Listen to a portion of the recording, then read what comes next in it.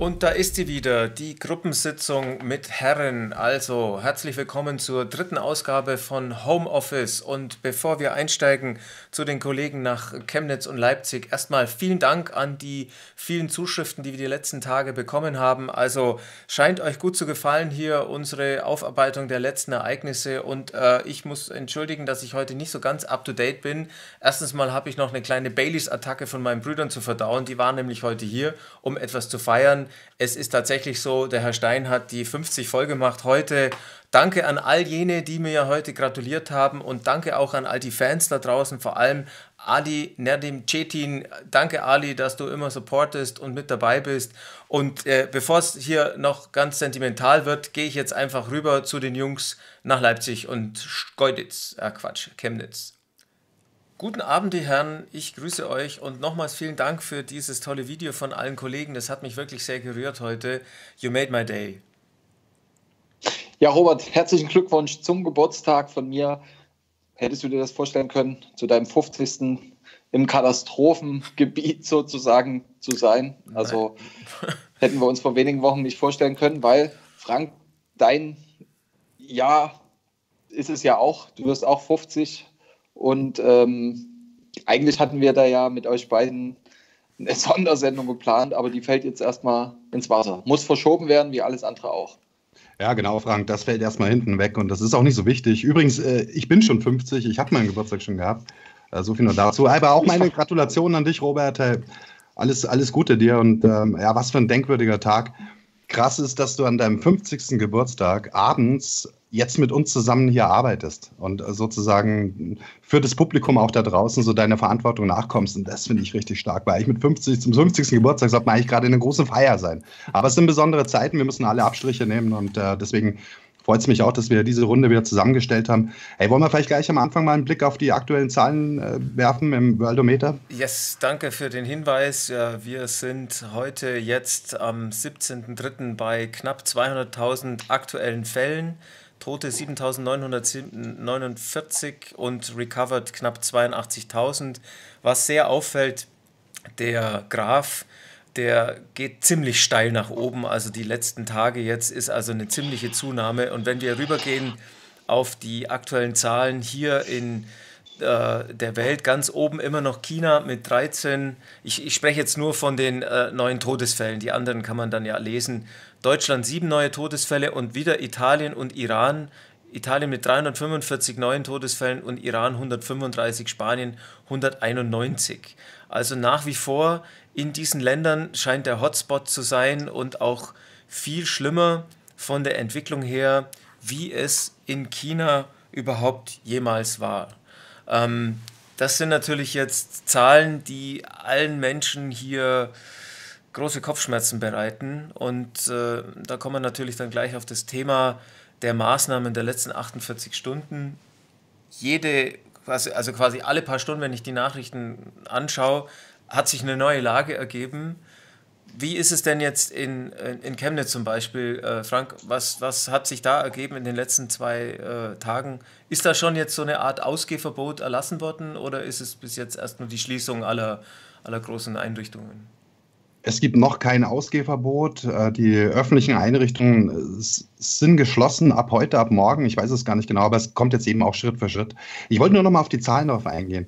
Was hier bei diesen Zahlen nicht das Entscheidende, glaube ich, ist, sind, sind die absoluten Zahlen, auch die Todeszahlen, sondern entscheidend ist äh, die, die Ratio zwischen Total Cases und New Cases.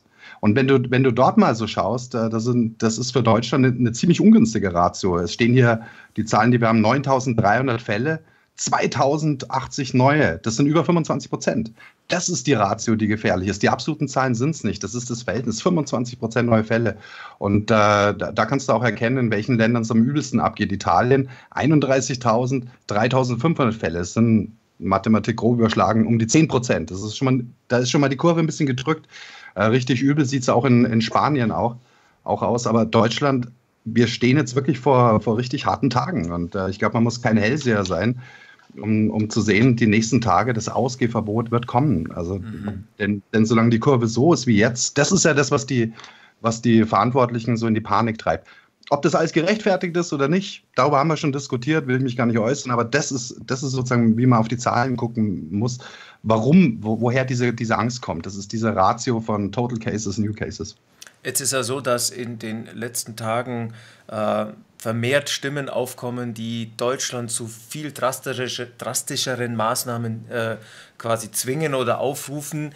Ähm, die Regierung ist da bisschen, immer noch ein bisschen träge und auch Merkel scheint da nicht wirklich so voranzukommen. Äh, rächt sich denn das jetzt? Frank, was meinst du? Nö. Also äh, ich bin der Meinung, äh, Ausgangssperren sind nicht notwendig, aber äh, ich kann das natürlich auch nicht wirklich fachlich beurteilen. Es kommt mir nur einfach so vor. Ich bin jetzt anhand der Zahlen noch nicht im Panikmodus, muss ich sagen.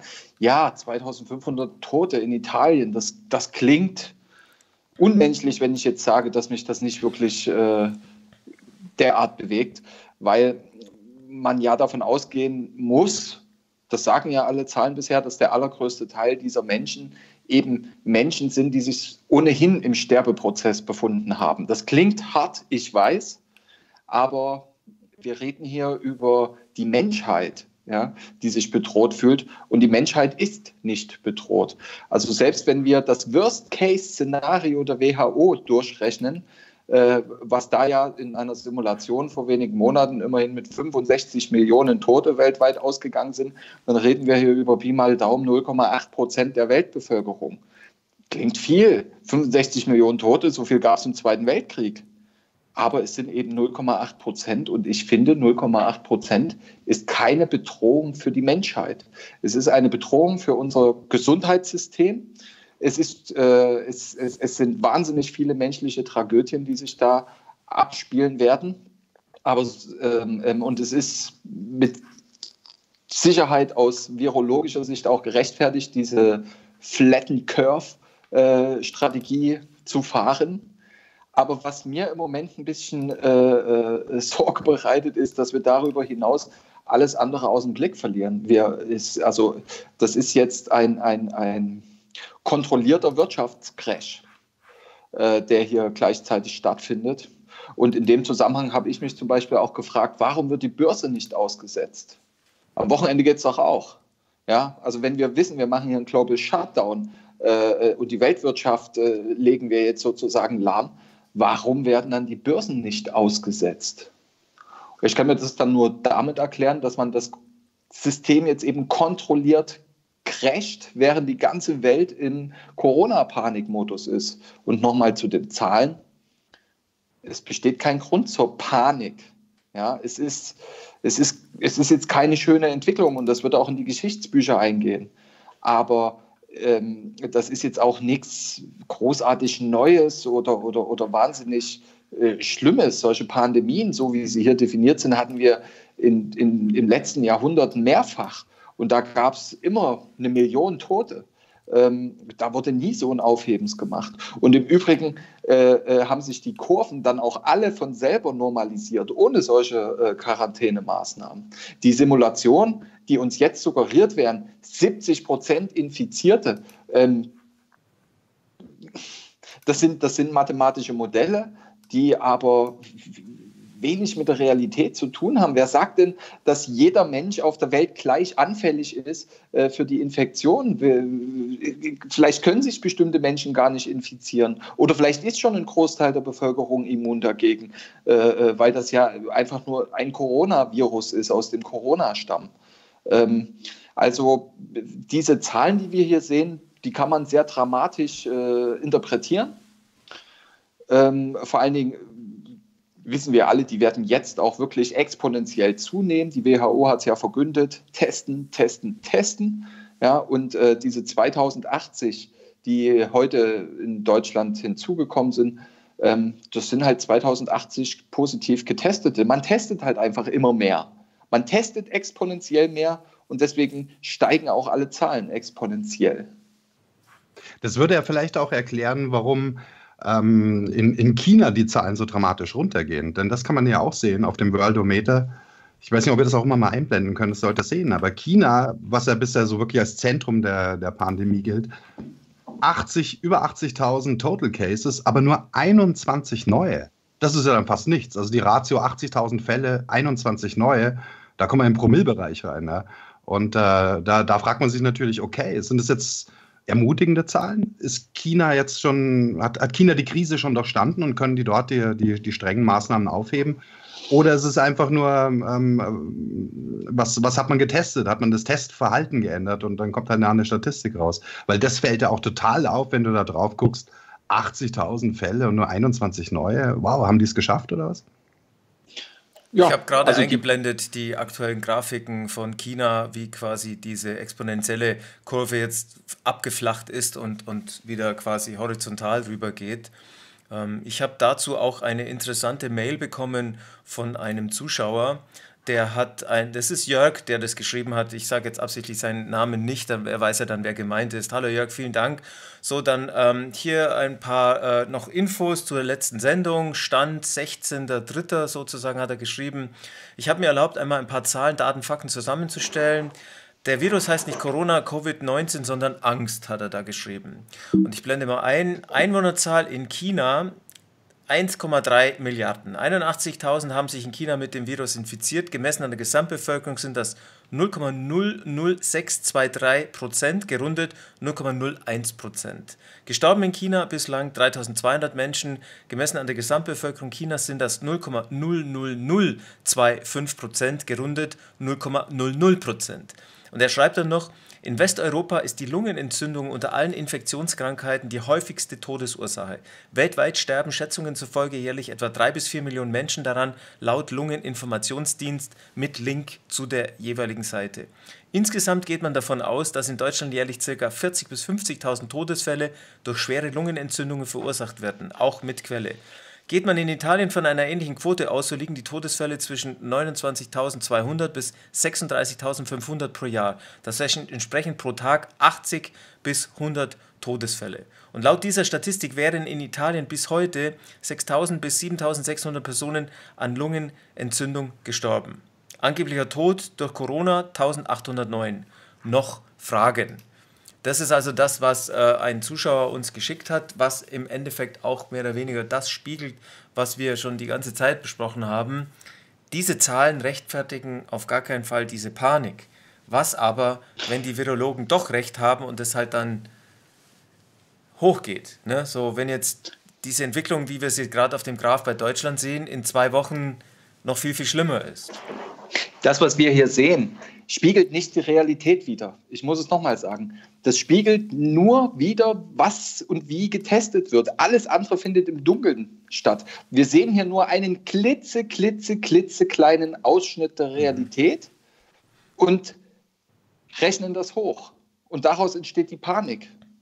Das Problem ist, dass dieser Ausschnitt der Realität nicht repräsentativ ist, weil er dadurch entsteht, wer getestet wird und wo getestet wird. Es werden natürlich alle, die ins Krankenhaus mit Husten gehen, getestet. Das ist nicht repräsentativ für die Bevölkerung. Es wird in Altenheim getestet, also alle Hochrisikogruppen werden getestet. Das heißt, unter diesen New Cases, und ich habe das, glaube ich, bis jetzt in jeder Sendung gesagt, ich sage es nochmal, unter diesen neuen Fällen es sind eben nicht äh, äh, ein Haufen Durchschnittsbürger, normale jeden Alters, äh, äh, sondern es sind überwiegend Hochrisikogruppen, die logischerweise getestet werden. Man geht ja nicht in die Schule und testet durch, also noch nicht. Dann würden die Zahlen ganz anders aussehen. Die Cases wären viel, viel höher und die Sterberate wäre noch niedriger. Aber dieser Ausschnitt der Realität hat nichts mit der Realität an sich zu tun. Er bildet die Realität nicht ab. Es ist ein kleiner Ausschnitt und der wird hochskaliert, hochgerechnet. Und daraus wird die Panik konstruiert, die bis jetzt aber überall ausgeblieben ist, auch in Italien. Das ist, das ist dramatisch, was dort passiert. Aber ja, dort sterben halt gerade viele Menschen mit Corona. Ja, auch mal wichtig, äh, den Unterschied zu machen, weil es wird immer gesagt, durch Corona oder an Corona sterben die. Nein, das sind positiv getestete Menschen, die sterben die, an allem Möglichen. Aber es werde Licht. Hm. Ähm, wie gesagt, diese Statistik zeigt nur, wie viel getestet wird. Und also, die Devise lautet testen, testen, testen. Und deswegen werden wir in den nächsten Wochen hier überall exponentielle Kurven erleben. Das heißt also, die Menschen wären sowieso gestorben, aber nur wenn man sie jetzt testet und in die Statistik einführt, gibt es diese großen Zahlen. Ein erheblicher Teil davon. Ich will jetzt nicht äh, Ausnahmefälle ähm, anzweifeln. Aber ich drücke es jetzt mal ganz hart aus. Von den Toten, die wir hier sehen, äh, wäre der überwiegende Teil, nicht alle, aber doch der nennenswerte Teil äh, in der nahen Zukunft ohnehin gestorben, mhm. auch ohne Corona. Äh, auf diese Aussage lege ich mich fest. Also ich bin da vorsichtiger nach wie vor, sage ich dir ganz ehrlich. Denn ähm, das, das kann ich einfach nicht beurteilen. Also ich bin kein Virologe und ich weiß natürlich grundsätzlich sind Statistiken sind immer schwierig und, und so weiter. Ähm, aber das, das, da habe ich jetzt auch gar nicht mehr den Fokus drauf, so, ähm, weil was wir jetzt erleben ist, wir steuern auf eine absolute äh, krasse Situation hin. Und ob jetzt diese, diese Maßnahmen, diese harten Maßnahmen, einschneidenden Maßnahmen, die wir in ganz Europa sehen, ob die gerechtfertigt sind oder nicht, finde ich ist vielleicht im Moment schon zu spät, das zu diskutieren. Äh, jetzt geht es wirklich die, darum, was können wir tun und wie kommen wir jetzt durch die Zeit. Und, und wir sollten sehr vorsichtig sein. Oder, oder ich will es mal ganz klar sagen, ähm, jetzt in den nächsten Tagen würde ich jedem raten, ähm, den Anweisungen auch Folge zu leisten. Also ich, man sollte jetzt ganz vorsichtig sein und das nicht auf die leichte Schulter nehmen und sagen, naja, das ist alles nur gefaked und wir werden ja verarscht und äh, ich mache jetzt trotzdem, was ich will ihr wisst selber, das gilt, glaube ich, bei allen von uns, wir sind freiheitsliebende Menschen. Aber jetzt erleben wir gerade eine Ausnahmesituation. Und ich kann nur jedem empfehlen, so jetzt echt die, die Füße stillzuhalten. Und ähm, denn Macron hatte gestern Abend davon gesprochen, wir sind im Krieg. Das hat er, das hat er fünfmal oder sechsmal wiederholt. Das ist also nicht nur so rausgerutscht, sondern das war Kern von seiner, von seiner Botschaft an das Volk. Er hat gesagt, nous sommes en guerre, wir sind im Krieg. Und äh, in, in, in solchen Ausnahmefällen kann ich nur sagen, also ich, ich zeige mich jetzt auch solidarisch. Ich werde jetzt nicht den, den Quertreiber geben. Ähm, wir müssen das jetzt genau beobachten, was passiert, aber für die nächsten Tage kann ich auch nur jedem raten, nehmt es nicht auf die leichte Schulter. Wenn Ausgangssperre kommt, sag nicht, pfeift drauf, äh, wir machen Corona-Party, wie es zum Teil hier läuft, dass sich Jugendliche verabreden irgendwo im Park. Vorsicht jetzt. Das, ich glaube, die, die Zeit ist jetzt vorbei. Man sollte jetzt echt die Füße stillhalten. Ne? Also ich stimme dir, ich stimme dir voll und ganz zu und ich äh, will das vielleicht auch nochmal richtig stellen. Ja, äh, das wollte ich damit auf gar keinen Fall zum Ausdruck bringen und ich sehe es auch genauso wie du. Wenn jetzt hier Kriegsrecht ausgerufen wird, äh, dann ähm, ich halte mich jetzt auch an die Anordnungen. Weniger eben weil ich persönlich Angst vor dem Virus hatte. Das wollte ich auch damit äh, mit der Aussage vorhin sagen. Das ist meiner Meinung nach kein Grund zur Panik aufgrund des Viruses. Es, es besteht mhm. kein Grund zur Panik. Das ist ein Problem. Ich will das auch nicht kleinreden. Und äh, Flatten the Curve ist, habe ich vorhin schon gesagt, mit Sicherheit auch nicht die schlechteste Idee. Aber äh, ich werde auch größtenteils, also sofern mir das eben äh, möglich ist, den Anweisungen folgen, aufgrund der anderen Menschen. Weil ich habe jetzt äh, auch heute, jetzt in den letzten zwei Tagen auch erlebt, ja, es gibt tatsächlich viele Menschen, die nehmen das extrem ernst. Ähm, und davor habe ich auch Respekt, weil äh, das nützt denen nichts, wenn ich jetzt äh, äh da irgendwelche äh, Sachen erzähle, wie das ist gar nicht so ähm, schwierig, äh, so gefährlich, meine ich. Ähm, weil natürlich diese, diese Panik, die jetzt gemacht hat, über, äh, wird überhaupt erst dazu führt, dass die Leute sich abschotten. Und ich sage ja auch nicht, das ist alles Blödsinn. Das sage ich nicht. Ich sage nur, wir, die Menschheit ist nicht durch das Coronavirus bedroht. Mhm. Ähm, ich glaube auch, die meisten Leute haben gar nicht wirklich Angst vor dem Virus. Also das ist so mein Eindruck. In meinem, also in meinem viele Umfeld, schon, viele schon. Es, ja, viele schon, aber in meinem Umfeld ist es gar nicht so sehr, dass die Leute jetzt wirklich Angst haben vor der Krankheit, dass sie selbst krank werden würden. So die große Unsicherheit, und die haben wir alle. Ich habe jetzt auch keine Angst, aber ich habe Sorgen, äh, keine mhm. Frage, so, weil wir nicht wissen, wohin sich das bewegt. Die Unsicherheit, die, die im Land herrscht, das ist, was gerade so draufdrückt. Ich glaube, bei den, bei den wenigsten, gerade auch bei, unserem, bei unseren Zuschauern, glaube ich, sind die meisten auch schon aufgeklärt genug, das zu erkennen. Und darauf weisen wir auch hier in dieser Sendung immer hin. Hey, guck mal, die absoluten Zahlen.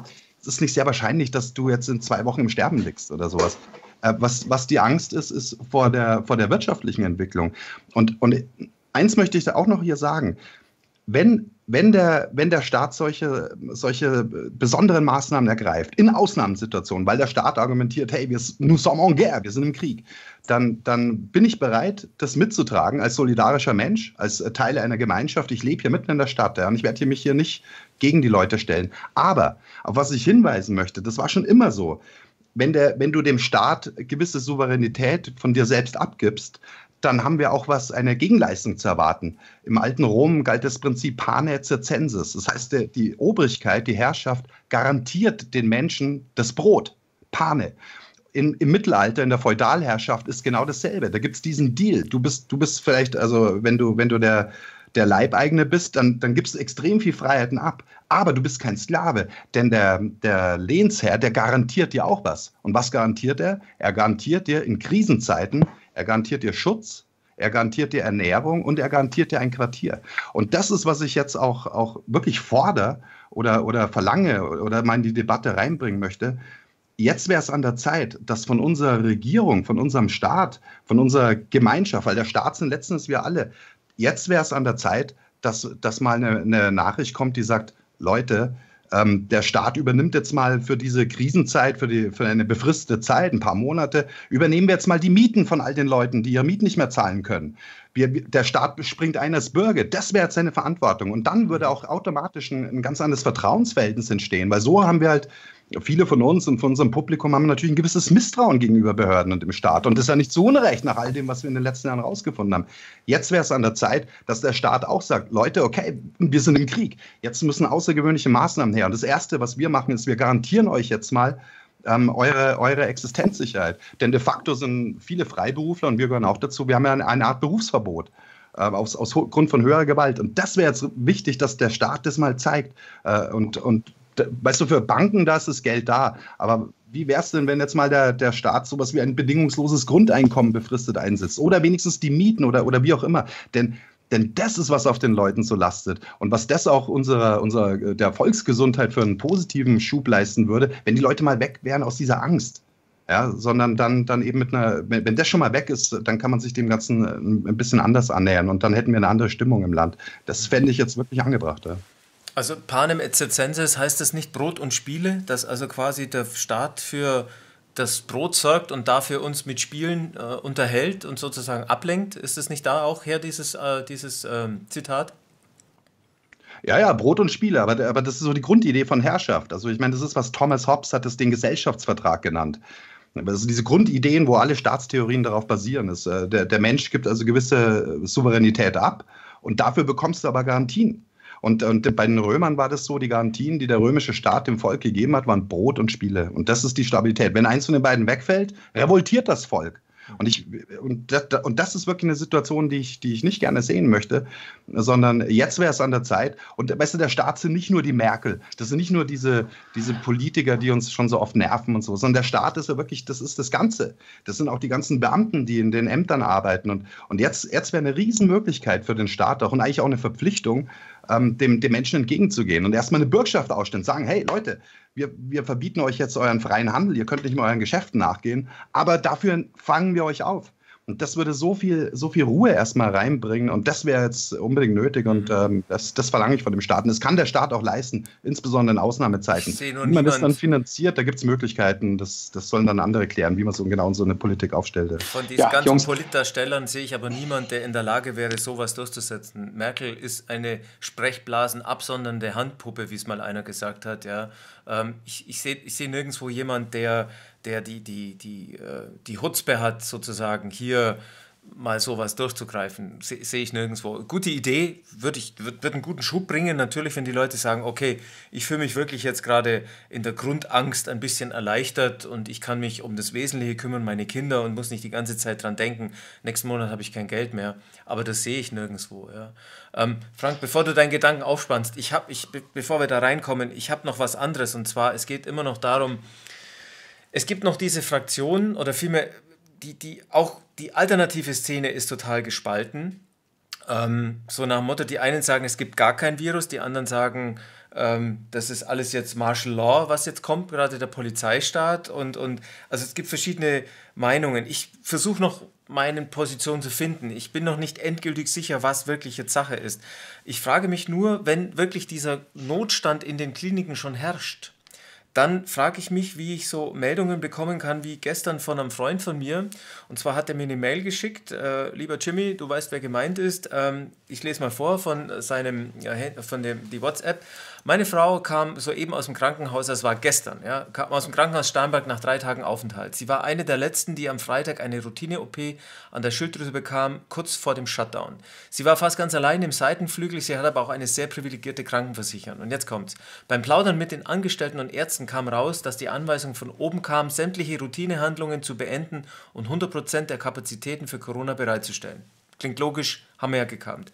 Im Garten wurde ein Zelt aufgestellt für die Tests und Verdachtsfälle. Laut Medien haben wir seit letzter Woche acht Akutfälle in Starnberg und steigende Verdachtsfälle. Heute Morgen flachsten die gelangweilten Ärzte im Foyer, wann denn wohl die erste Packung Tests aufgerissen werden kann. Das Zelt ist bisher unbenutzt und die akuten Fälle sind eine Ente. Es gibt bisher keinen einzigen Fall und die amüsierten Ärzte sind schon gespannt auf ihren ersten Kunden. Sachstand Montagmittag, 16.03. Und dann kam noch eine zusätzliche Mail von ihm, dass er das weitergeschickt hat. Und dann stand drin, auf meine Mail hin meldeten sich Bekannte, die selbiges aus den Krankenhäusern in Ludwigsburg, Pforzheim, Bad Aibling und Wolfratshausen meldeten. So, und das ist jetzt die Frage.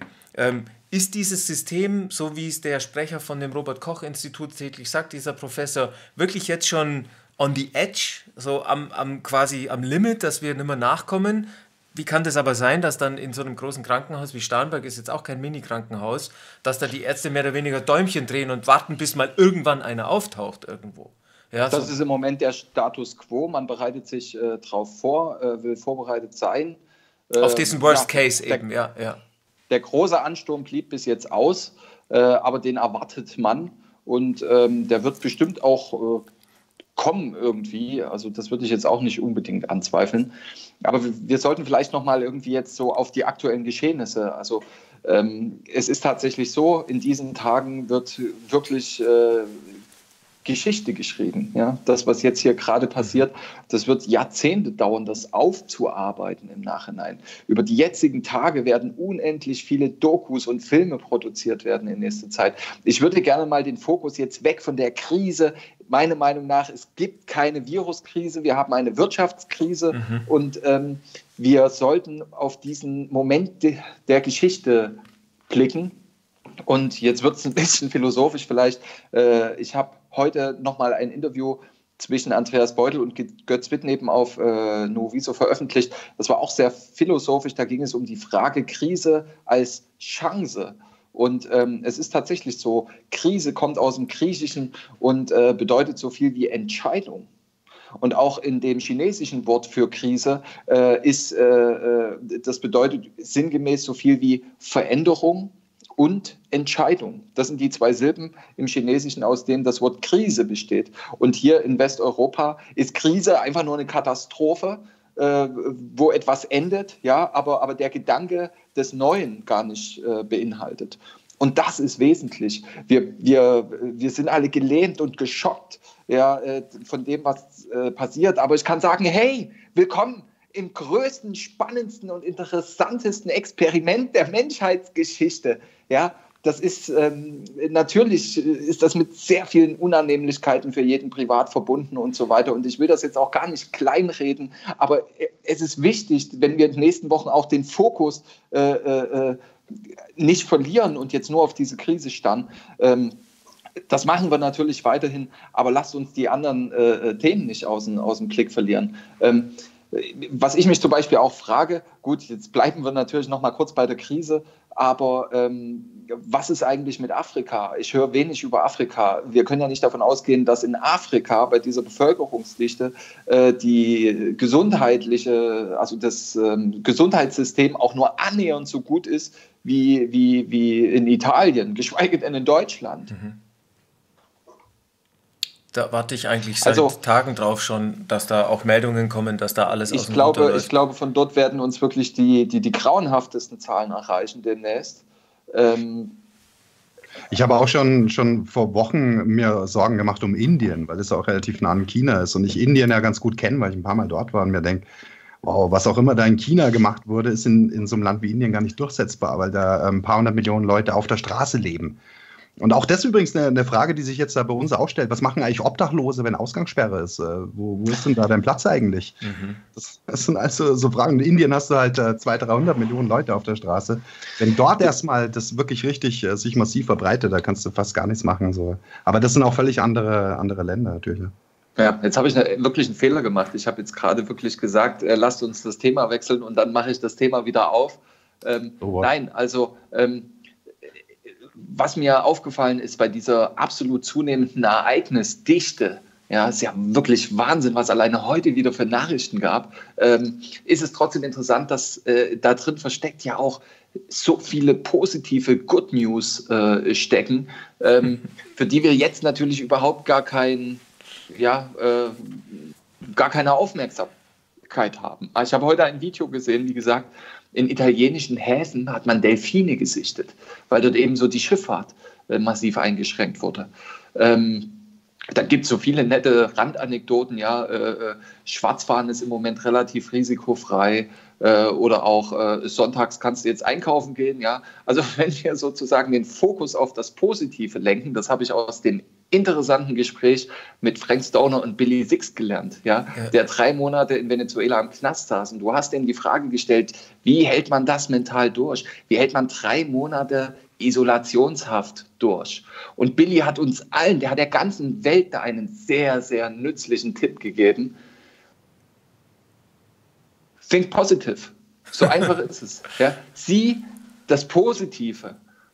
Die Krise ist keine Krise, es ist ein Wandel. Wir müssen eine Entscheidung treffen. Ja, es ist Veränderung. Und wir können mitentscheiden, in welche Richtung sich das verändert. Für jeden Einzelnen, für uns und auch als Gesamtes. Ja, und ähm, solche Good News äh, sollten wir eigentlich auch in Zukunft sammeln. Mal einen Aufruf an die, an die Zuschauer.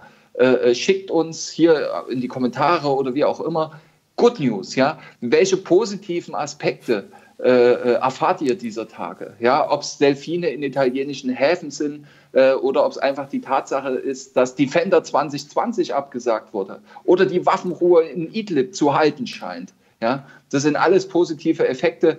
Das Klimafass will ich an der Stelle mal noch gar nicht aufmachen, denn Fridays for Future ist verboten, ganz offiziell. Gut, war jetzt ein bisschen gemein. Natürlich profitiert das Klima auch äh, äh von diesem Global Shutdown.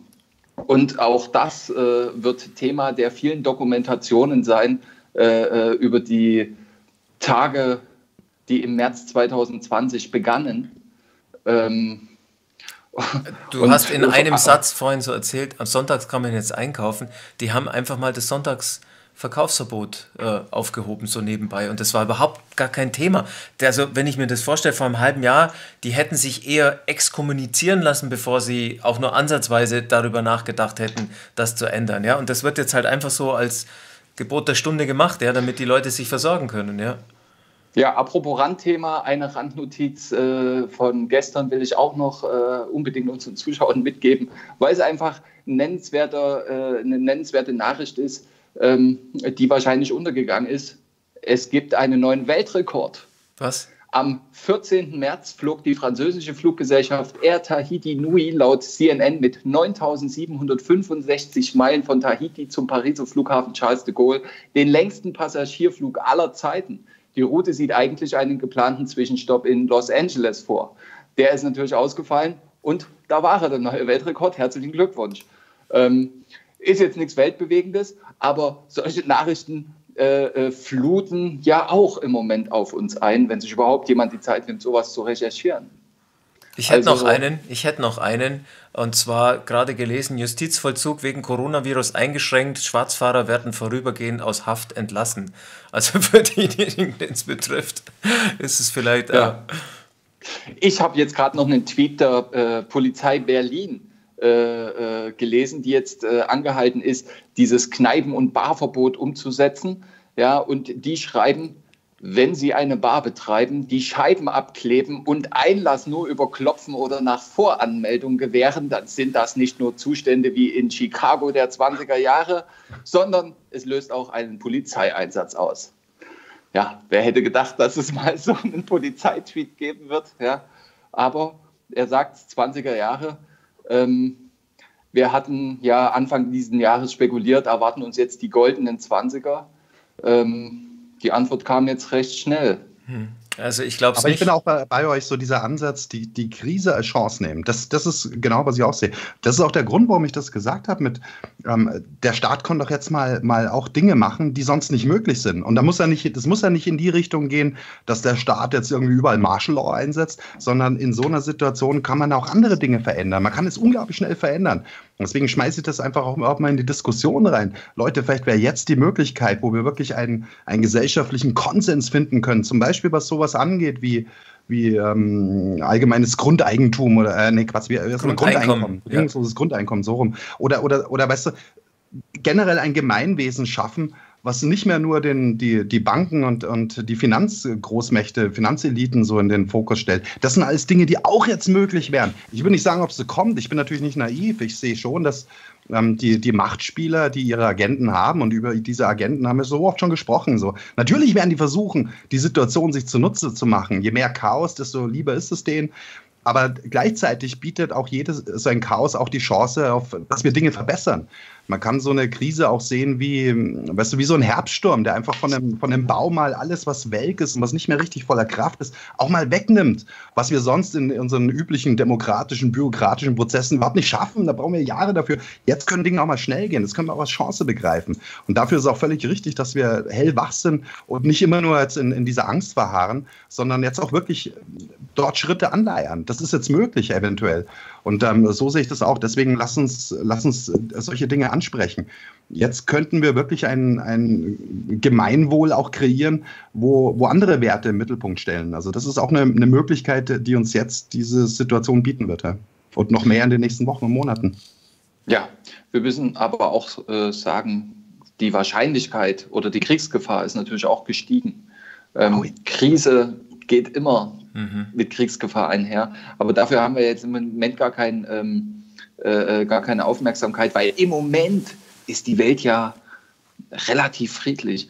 Wobei das vielleicht auch trügt, ja, wir sind jetzt hier in Mitteleuropa voll in der Corona-Krise. Ich weiß gar nicht, ob die wirklich schon äh, weltweit angekommen ist. Ähm, es ist schon so, dass, ähm, dass im Moment kein einziger Staat dieser Welt ignoriert.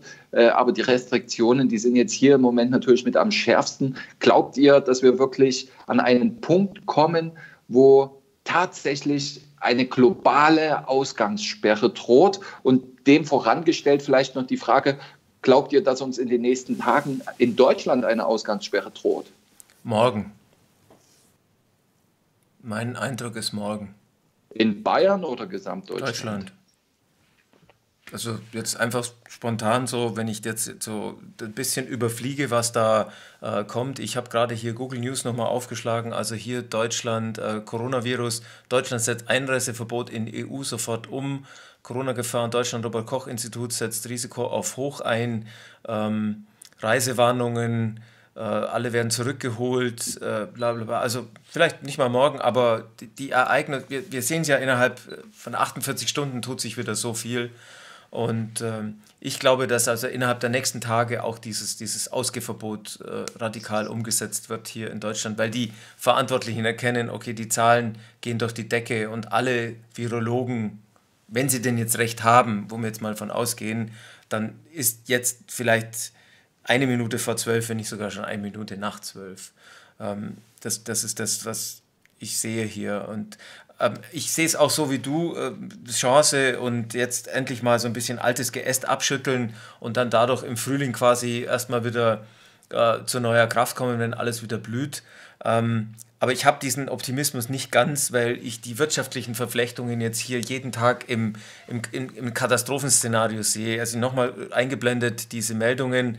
Ähm, wo war das? Daimler und VW vorübergehend lahmgelegt. Ich habe dann noch nachmittags bei NTV gesehen, dass also die Airbus seinen, äh, äh seine Produktion eingestellt hat. Ähm, und so weiter und so fort. Also sämtliche Wirtschaftszweige, die jetzt massiv leiden, das wird sich subsumieren und äh, kumulieren. Und wenn jetzt alle glauben, dass wir nach ein paar Wochen Corona-Ferien wieder zum Normalbetrieb zurückgehen, das sehe ich einfach nicht. Das sehe ich nicht. Ja. Ich will ich da auch keine Panik schüren, sondern ich denke nur logisch und, und ich gucke, was da passiert. Aber Robert, es ist doch klar, ich meine, wir reden von einem Global Shutdown. Ja. Äh, da, da, kannst du jetzt äh, einmal melden, Global Shutdown, oder du kannst 100 Meldungen äh, sagen, VW schließt, äh, Porsche schließt, der schließt, der schließt, der schließt und der macht jetzt auch dicht. Ja, es ist ja klar, es ist Global Shutdown, es macht alles dicht. Da muss man das nicht noch mit Einzelmeldungen aufblasen. Ähm, das ist jetzt äh, sozusagen das Gebot der Stunde. Und ja, natürlich, ich sage es nochmal, die Weltwirtschaft äh, äh, wird jetzt gerade kontrolliert, gecrasht. Und das wird natürlich analog wie äh, vor 90 Jahren, 1929 Weltwirtschaftskrise, in ex millionenfache Existenznöte mhm. äh, gelangen. Die Selbstmordrate wird steigen. Und wenn wir schon mal bei steigenden Raten sind, ähm, wir werden ab Dezember, Januar 21 noch ein interessantes Phänomen erleben. Stichwort Corona-Boomer. Ja, wir, jetzt, jetzt wird eine neue Generation gezeugt, deren Scheidungsrate deren Eltern sehr hoch sein wird. Ähm, Frank, wir haben vor dem Gespräch schon mal darüber geredet. Du siehst es ein bisschen anders.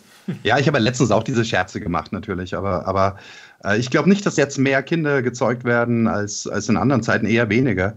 Denn ich glaube, dass der, die Geburtenraten, das ist immer auch ein Index dafür, für das Vertrauen, was die Menschen überhaupt ins Leben haben. Und ich glaube, jetzt haben die meisten Menschen äh, ganz wenig Vertrauen in die Zukunft. Und wer, wer schlau genug ist, um, zu verhüten, äh, wird auf jeden Fall jetzt Geburten verhüten. Und äh, boah, ich wünsche auch wirklich allen, die, die jungen Müttern oder, oder die, die jetzt schwanger sind, schwangeren Frauen, jungen Familien, ne, wünsche ich jetzt auch Kraft.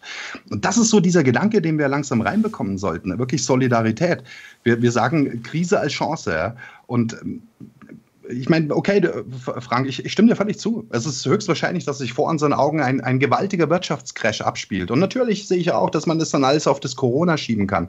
Aber wenn ich nochmal aus einer anderen Perspektive gucke, weißt du, ich bin schon Systemkritiker seit, seit über 30 Jahren, seit 40 Jahren vielleicht, naja, 40 nicht, aber seit über 30 Jahren.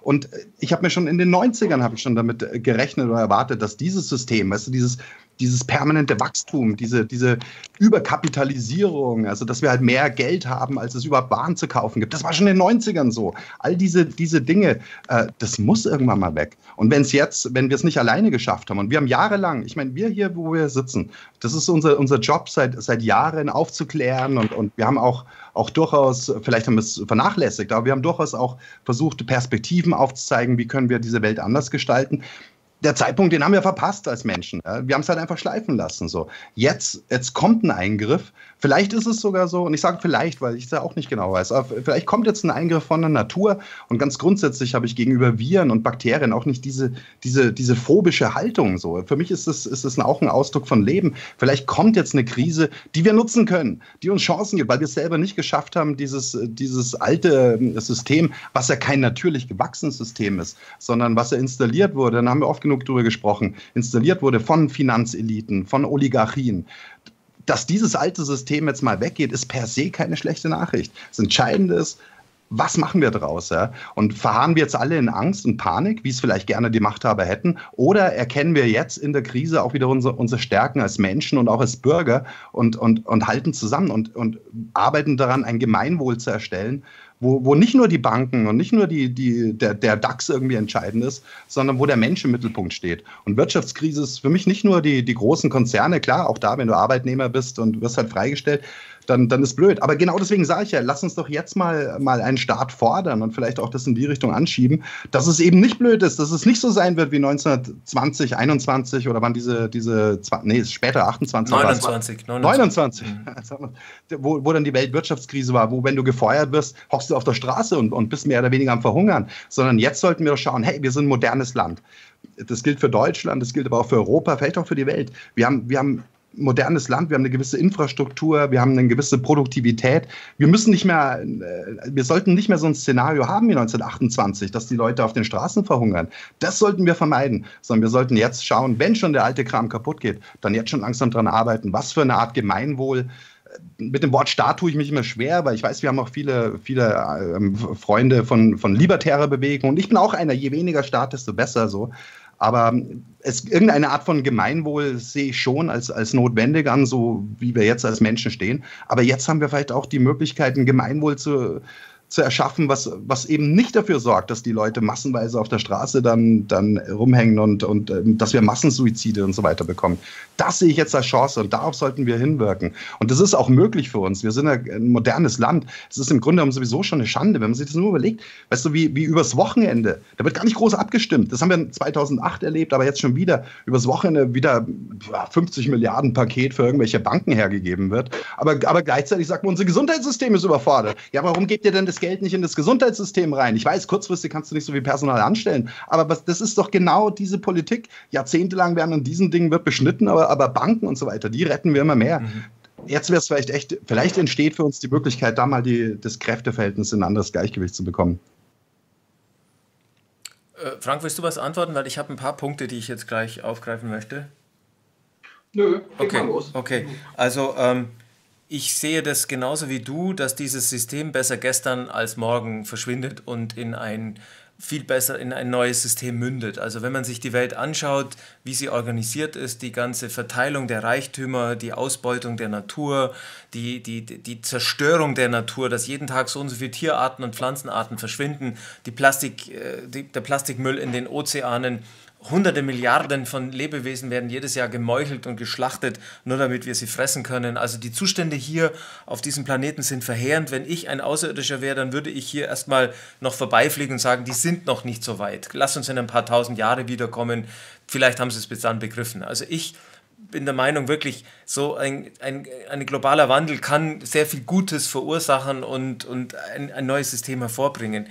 Ich bin aber trotzdem gerade bei diesem, in der Realität angekommen, dass alle positiven Gedanken, die du gerade gezeichnet hast, mit diesem jetzt die Chance der Solidarität und so weiter und so fort, ich sehe das nicht. Ich sehe das momentan nicht, weil erstens ist der Grad der, der geistigen Erweckung der Leute noch ziemlich weit weg. Also wenn du jetzt rumgehst in die Fußgängerzone irgendwo und fragst nach Gebäude Nummer 7, was ein Gradmesser ist für alternatives Wissen oder allgemeineres Wissen über die Zusammenhänge im Hintergrund, dann werden wenige Leute sagen, Gebäude 7 habe ich noch nie, also viele werden sagen, habe ich noch nie gehört. Also sprich, viele Menschen sind total uninformiert. Das ist meine Erkenntnis aus fast 20 Jahren äh, Arbeit in alternativen Medien und so weiter. Heißt also, diesen Gedanken einer solidarischen Bewegung jetzt so nach vorne zu bringen, auch auf ein gewisses Bewusstsein aufzubauen, schwierig sage ich mal, schwierig. Ähm, und hinzu kommt, ich sehe diese äh, nahe Zukunft als, als großen Scheideweg,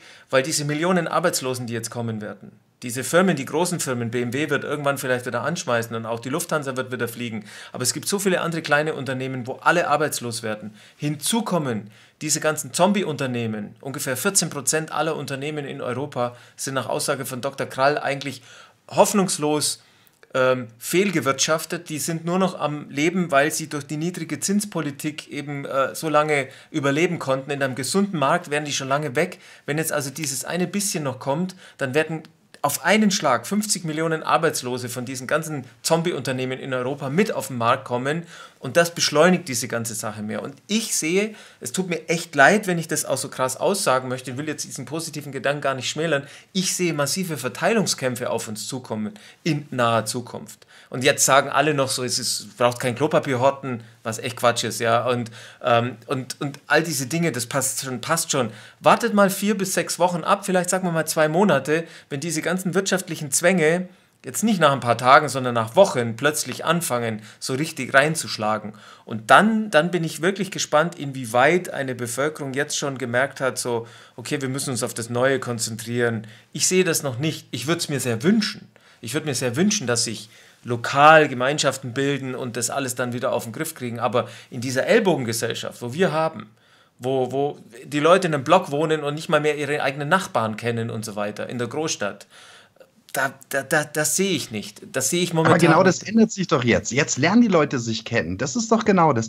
Die, die, diese Kinderwelt, diese Mickey-Maus-Welt, in der die Menschen so lange verharren, die bricht jetzt weg. Und das ist per se erstmal, erstmal nichts Schlimmes. Mhm. Natürlich ist da die Aufregung groß, aber wenn die wegbricht, dann, dann jetzt lernen die Leute, jetzt ist eine Zeit der Desillusion. Verstehst du? Die Enttäuschung. Jetzt, die Enttäuschung. die Leute ja, ja. oh, was ist denn eigentlich Wirklichkeit? Was ist denn eigentlich wirklich wichtig in meinem Leben auch? Was sind eigentlich für Leute hier um mich rum? Und plötzlich brauchst du vielleicht auch deine Nachbarn. Du musst vielleicht dich, also jetzt noch nicht, heute noch nicht, morgen wahrscheinlich auch noch nicht. Aber wir wissen nicht, wie es in drei Wochen ist, wenn es jetzt so weitergeht. Dann müssen wir vielleicht irgendwie auch mal aus unserer, äh, ähm, aus, aus unserer Schale mal rauskommen und auch mal mit den anderen kooperieren. Einfach so wie es früher in der DDR auch war. Mhm. Wenn du mhm. irgendwo was haben wolltest, musstest du Netze haben. Anders geht es nicht. Und also da sehe ich schon eine, eine, eine riesen Chance. Ich bin jetzt auch kein Hellseher. Ich will auch nicht naiv rüberkommen. Ich sehe die Gefahren. Aber, aber wir sollten jetzt auch nicht abschenken. Vielleicht ist jetzt wirklich die Zeit gekommen, auf die Leute wie wir, Robert, doch schon so lange auch, auch hingearbeitet haben. Und jetzt, wo es soweit kommt, sollten wir nicht erstarren wie die, die Rehe im Fernlicht. So, oh, Jetzt, jetzt bricht es zusammen. Die Wirtschaft bricht zusammen und, und äh, klar, ich sehe jetzt die Gefahren, aber vor allem sehe ich jetzt erstmal die Dynamik. Und ich bin auch, ich will jetzt auch nicht so, so daherkommen, dass mir das alles, weißt du, dass ich da grenzenlos optimistisch bin. Ich habe genauso wie, wie wahrscheinlich ihr auch äh, und wie alle unsere Zuhörer, ich gehe auch zurzeit durch ein Wellenbad an, an, an Gefühlen mhm. auch. Es gibt Momente am Tag, wo ich mir wirklich Sorgen mache. Ich bin Familienvater, weißt du, und, und, mhm. und ich es gibt Momente, wo ich mir echt Sorgen mache, aber dann spüre ich auch wieder, wir sollten jetzt nicht, nicht verzweifeln. Wir, wir sollten auch nicht glauben, das, das habe ich auch in den letzten Jahren gelernt, also für mich ist es nicht so, dass, dass es eine eine Weltregierung gibt. Es gibt welche, die wollen es. Und es gibt welche, die sind auf diesem Machtfilm. Aber ihre Macht ist auch zum großen Teil eine Illusion. Und vor allem ist ihre Macht, ähm, ist der, der Hebel ist die Angst. Auch das ist nichts mhm. Neues. Ich will jetzt euch nicht mit Allgemeinheiten äh, nerven. Aber das gilt tatsächlich. Und es ist keineswegs so, dass, dass hier diese, dieser große Konflikt, wenn das Alte jetzt wegbricht, der große Konflikt ist, wie werden wir uns neu organisieren als Menschen? Das ist noch nicht verloren. Verstehst du, das, das, das wird, bin ich nicht bereit abzuschenken und denen so viel Macht zuzugestehen und sagen, ja, die, die, die ziehen jetzt ihre Pläne durch. Klar haben sie ihre Pläne. Hier, hier, wo wir von Krieg geredet haben, hier vielleicht noch so eine kleinen, kleinen Infoschnipsel. Der Atlantic Council, ähm, Atlantikrat, aber er heißt eigentlich Atlantic Council. Das ist auch so einer von diesen Neocon Thinktanks in, in New York. Mhm. Der hat jetzt ähm, ähm, öffentlich gefordert, hat, hat, Trump aufgefordert, den US-Präsidenten und die NATO aufgefordert, sie sollen jetzt den Artikel 5 ähm, aktivieren und, und den, den Kriegszustand erklären. Der, der Atlantic Council fordert, dass die NATO in den, dem Covid-19-Virus dem Krieg erklärt. Das hat er wortwörtlich so geschrieben. Mhm. Verstehst du? Weil dann eben auch wiederum gewisse, äh, ja, dann, dann kommt halt Martial Law.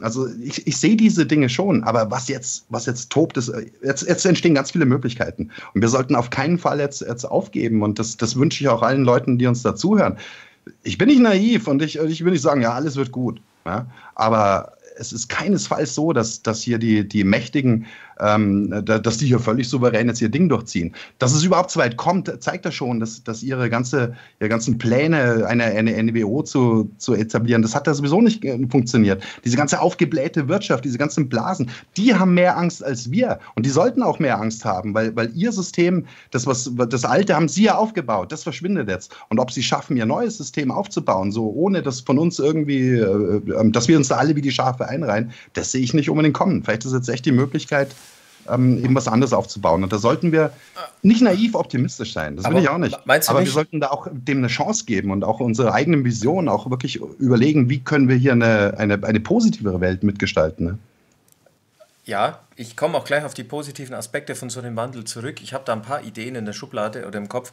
Aber glaubst du nicht, dass die Leute durch diese ganzen, also gehen wir mal nochmal fünf Wochen in die Zukunft, wenn das jetzt alles etwas schwieriger wird und die, die Situation wird auch gepresster und, und dramatischer, wenn dann plötzlich einer kommt mit so einem Impfvirus, äh, mit so einer Impfgeschichte, dass die Leute freiwillig den Arm hochhalten, hier bitte hau mir die Spritze rein, ich kann es kaum erwarten, wenn sie vorher noch sagen, hey, wir haben festgestellt, auf den Geldscheinen den Münzstücken sind so und so viele Viren drauf, wir müssen jetzt das Bargeld abschaffen, oh ja, ganz gut, ich zahle nur noch mit Checkkarte, weißt du, dass dann plötzlich Maßnahmen jetzt durchgesetzt werden, die sie schon lange, lange, lange in der Schublade haben und jetzt natürlich dann so mehr oder weniger nicht nur subkutan, also unter die Haut, sondern richtig durchbrettern, dass die Leute freiwillig sagen, okay, her damit. Das, das, das sehe ich als Gefahr gerade so. Ja? Und, äh, und trotzdem, auch ich bin ein Fan von positiven Gedanken. Ich umgebe mich jeden Tag mit so viel wie es geht positiven, mit tollen Freunden, mit, mit tollen Gesprächen. Ich habe einen wunderbar kleinen Hund da, der mich jeden Tag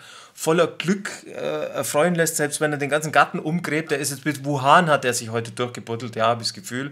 Also, äh, versteht ihr, es gibt so viele Aspekte im Leben, wo, wo man sich rausholen kann. Ich werde mir zum Beispiel jetzt gleich einen Zuckerschock holen von unserem Sponsor hier. Das liegt mir schon die ganze Zeit hier. Haben meine Brüder mir vorhin Schokolade geschenkt. Nur eine Kleinigkeit, aber es gibt diese positiven Sachen. Und um mal ein Bild zu zeichnen, wie ich mir die ideale Zukunft äh, vorstelle, dieses System crasht. Wirtschaftlich, alles ist auf Null gestellt. Und plötzlich kommen ein paar Leute an die Macht, die, nehmen wir jetzt einfach mal als Platzhalter, Professor Franz Hörmann, oder vielleicht der Herr Krall oder der Herr Otte oder andere Wirtschaftsexperten, die es auf der ganzen Welt gibt, die es schaffen, ein System zu etablieren, das wirtschaftlich uns innerhalb kürzester Zeit wieder auf die Beine stellt, wo ein System erschaffen wird, das nicht mehr wenige da oben alles abschöpfen, sondern dass es auf Gemeinschaft aufgeht. Die ganzen verbotenen Dinge kommen zum Einsatz, wie zum Beispiel eine Renaissance von den Lehren von Herrn Schauberger, ein gewisser Herr Tesla hat gewisse tolle Sachen gemacht, schon vor 100 Jahren. Freie Energiemaschinen. Der Herr Turtur, der seit Jahren forscht und kein Geld hat und dem sie einfach mal eine Milliarde aufs Auge drücken und sagen, du baust jetzt so ein Gerät und so weiter und so fort. Also ich sehe da immenses Wachstumspotenzial in einer neuen Gesellschaft, die auf auf solidarischen Prinzipien aufbaut. Nicht Sozialismus, sondern solidarisch, ja, so. Und das aber global gedacht mit einer Technologie, die uns vernetzt auf der Welt und gleichzeitig uns auch unabhängig macht von diesen fossilen Sachen. Das gibt's ja alles.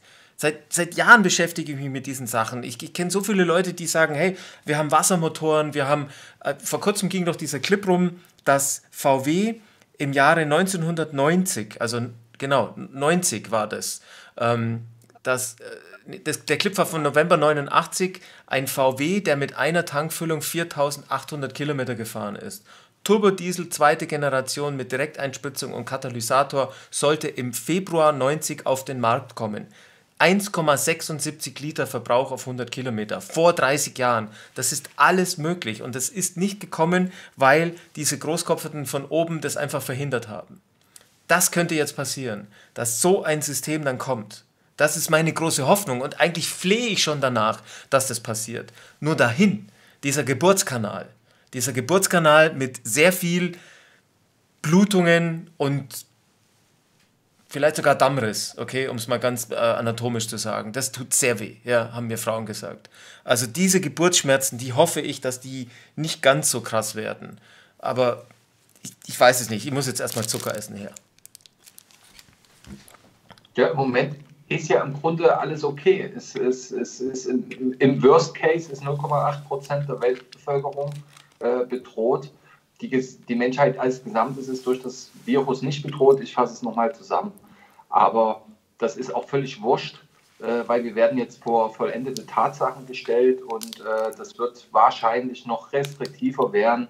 Und ich könnte mir gut vorstellen, dass wir uns in den nächsten Tagen dann alle ähm, tatsächlich einer Ausgangssperre beugen müssen. Ich werde es auch tun. Ähm, ich habe auch persönlich jetzt weniger ein Problem damit, wie viele Millionen andere Menschen wahrscheinlich, äh, die wahrscheinlich vielleicht auf kleinem Wohnraum in einem Mehrfamilienhaus mitten in der Stadt irgendwo natürlich andere Bedingungen haben als äh, jemand, der ein Haus auf dem Land hat.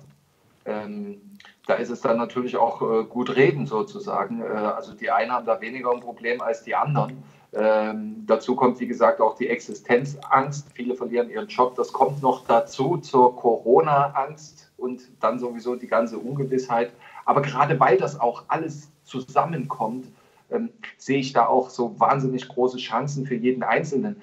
Äh, als Kollektiv, aber eben auch für jeden Einzelnen. Aber ich gebe dir recht, Robert, im Moment sind die meisten Menschen im Panikmodus und äh, mit Angst lässt sich schlecht äh, Entscheidungen treffen. Und ähm, das ist jetzt die große Aufgabe von jedem Einzelnen und das wird auch nicht jeder Einzelne für sich ähm, gut bewerkstelligen können. Das, ist, das, ist, das, ist, das sind die Geburtswehen, von denen du äh, ja, redest. Aber Fakt ist, die alte Welt, bye bye. Jetzt kommt was Neues. Jetzt wird Geschichte geschrieben. Und wir sind dabei und wir sind die Schöpfer dieser Geschichte, auch wenn wir nur einen ganz kleinen Teil dazu beitragen können. Aber immerhin, ähm, das ist unser Privileg. Und ich sehe das wirklich trotz der ganzen schlechten, schlimmen, dramatischen äh, Sachen, die sich auch abspielen auf diesem Schauplatz Erde jetzt, ähm, Die gab es aber auch schon immer. Früher hat man sie einfach nur nicht äh, registriert. Es gab kein Corona-Monitoring. Aber im letzten Jahrhundert gab es da jedes Jahr immer mal eine Welle mit einer Million Tote. Das hieß dann Hongkong-Grippe oder Russland-Grippe oder Asien-Grippe. Die kommt alle zehn Jahre mal und trifft eine Million Menschen dahin. Das ist tragisch, aber das ist auch Natur. Und jetzt sind eben unsere, unsere Forensik, unsere medizinische Forensik eben so weit vorangeschnitten, dass wir das in einem Live-Monitoring äh, ins Netz streamen können. Live-Statistik, wie viele Tote, wie viele Infizierte. Leute, wir haben hier kein neues Phänomen. Wir haben hier ein völlig natürliches Phänomen, das ist tragisch, das gehört einfach dazu. Wenn jetzt hier ein Komet einschlägt, können wir auch nichts dagegen tun. Das ist Schicksal. Natürlich, und da bin ich voll dabei, wenn wir das schon erkennen können, sollten wir alles dafür tun, um den Schaden zu minimieren. Aber nicht, indem wir einen noch viel größeren Schaden auslösen. Das ist meine Meinung. Und dabei äh, äh, bleibe ich auch immer noch, wenn die äh, Kurven jetzt definitiv exponentiell ansteigen werden. Aber wir drehen uns, glaube ich, im Kreis. Ähm, äh, Robert, ich habe noch äh, äh, soeben eine sehr wichtige Nachricht erhalten äh, aus einer WhatsApp-Gruppe. Ähm, das ist eine wichtige Info aus allererster Hand. Äh, die sollten wir unseren Zuschauern ähm, jetzt am Ende der Sendung auch nicht vorenthalten, ähm, dass wir die dann am Ende der Sendung mal bitte noch mit zeigen. Ja, ich weiß, ja. ich habe schon davon gehört, eine also äh, sehr vertrauenswürdige Quelle, Informationen aus erster Hand. Und äh, ja, Jungs, äh, ich danke euch für die Zeit, die ihr habt am äh, Sonntagabend, wollte ich schon fast sagen, aber es fühlt sich an wie ein ewiger Sonntag für mich irgendwie. Äh, jeder Tag ist ein Sonntag. Je, jeder Tag ist Sonntag, so der Homeoffice. Ja, ja, der Eternal Sunday, ja, so ein guter Titel. Aber wir können sonntags einkaufen. Ja, yeah. Jungs, wir sehen uns wieder, wahrscheinlich wieder in 48 Stunden oder 72 Stunden, äh, alle paar Tage ein Update. Macht es gut in euren Städten und liebe Zuschauer an euch, alles Gute, nicht verzweifeln. Wir sind alle dabei, wie Geschichte geschrieben wird und jetzt kommen noch ganz wichtige Informationen von einer Insiderin. Bitteschön krass dringende Nachricht an euch alle. Ich habe gerade die neuesten Infos über den Coronavirus und es kommt auch aus einer richtig, richtig sicheren Quelle, Leute. Da könnt ihr mir definitiv vertrauen. Und zwar habe ich nämlich gerade mit meiner Mutter telefoniert und von ihr, die Freundin, dessen Tochter arbeitet nämlich in einem Unternehmen, die hat mit dem Chef von ihr gesprochen, der bestätigt hat, dass von ihm der Sohn, dessen Freund in einem Fußballverein spielt, wo alle dort, die da mitspielen, auch bestätigt haben, dass der eine aus dem Verein, dessen Cousin aus Österreich nämlich, in der Schule mit seinem Lehrer geredet hat, dass dieser, dass der Sohn von dem Lehrer, dessen Freundin in der Uniklinik arbeitet, dort nämlich ähm, an der Studie teilgenommen hat und die Ergebnisse von einer Kollegin, dessen äh, Schwiegermutter genau, äh, ja die Schwiegermutter war das, auch bestätigt hat, dass die von der Forschungsarbeit herausgefunden haben, dass die Situation ernst ist und wir dringend Klopapier kaufen sollen. Deswegen kauft Klopapier.